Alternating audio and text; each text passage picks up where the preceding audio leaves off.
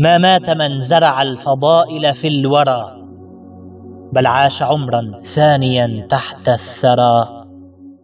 فالذكر يحيي ميتا ولربما مات الذي ما زال يسمع أو يرى.